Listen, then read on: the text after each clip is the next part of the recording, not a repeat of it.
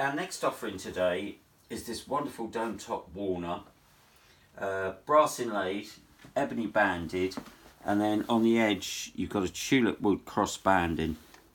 Uh, the inlay runs right across the back and it's got a nice interior, lovely padded silk back.